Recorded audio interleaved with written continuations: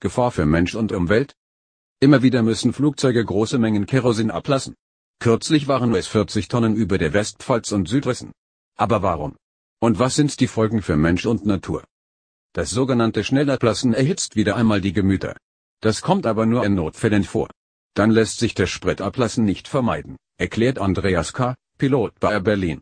Das passiert allerdings nur, wenn das Flugzeug vorzeitig landen muss, etwa weil ein Passagier kurz nach dem Start einen Herzinfarkt an Bord bekommt und medizinische Hilfe braucht. Bevor das Flugzeug landen könne, müsse das Gewicht reduziert werden, weil sonst das Fahrwerk Schaden nehmen könne, erklärt der Experte.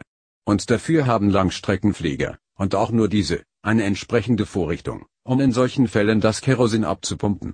Das dauert einige Minuten und dafür muss das Flugzeug über dünn besiedeltem Gebiet kreisen und zwar in einer vorgegebenen Höhe. Solche Vorgänge landeten schnell in den Medien, weil die Menschen, die in dem Gebiet wohnen, beunruhigt seien. Der Sprit verdunstet jedoch laut Experten größtenteils, so der Pilot. Das ergibt sich auch aus dem Planfeststellungsbeschluss für den Ausbau des Flughafens Berlin-Schönefeld. Demnach würde der größte Teil des Kerosins in den höheren Luftschichten bereits verdunsten. Der Treibstoff verbleibe so lange in der Atmosphäre, bis er durch die Energie der Sonne in Wasser und Kohlendioxid umgewandelt werde, heißt es darin. Bislang fehlt es an Erkenntnissen, ob und wenn ja, in welchem Ausmaß Mensch und Umwelt durch diese Notmaßnahme belastet werden. Ein Notfall kann zum Beispiel auch eine technische Situation sein, bei der die Piloten auf Nummer sicher gehen wollen und entscheiden, das Flugzeug in diesem Zustand nicht zehn Stunden über den Atlantik zu fliegen, sondern umzukehren, sagt der Berlin-Pilot. Es werde aber nie Sprit leichtfertig in die Atmosphäre geblasen, das sei schließlich auch sehr teuer, sondern nur wenn es sich nicht vermeiden lasse, ergänzt er. Bevor wir Menschenleben riskieren, drehen wir um und lassen Treibstoff ab, um sicher zu landen. Die Flugsicherung nennt den Piloten in solchen Notfällen ein Gebiet und bestimmt die Flughöhe, die sie einhalten müssen.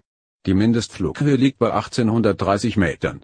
Am häufigsten betroffen sind die Regionen mit stark frequentierten Flughäfen wie Frankfurt und München. Gerade erst musste ein Airbus A380 der Lufthansa 40 Tonnen Kerosin über einem Waldgebiet in Rheinland-Pfalz ablassen, kurz nach dem Start in Frankfurt. Die Maschine sollte nonstop nach Houston-Texas fliegen, dann bemerkten die Piloten jedoch Probleme am Fahrwerk. Damit die Maschine sicher landen konnte, ließen die Piloten die großen Mengen Treibstoff über dem Gebiet des Pfälzerwaldes ab. Der Grund ist das maximal erlaubte Landegewicht. Bei Kurz- und Mittelstreckenfliegen sei das kein Problem, erklärt Pilot Andreas K., da liegt das maximale Landegewicht zwar auch unter dem maximalen Startgewicht, was bedeuten würde, dass man nicht gleich wieder umkehren und landen darf, sondern erst, wenn man das Kerosin auch verbraucht hat.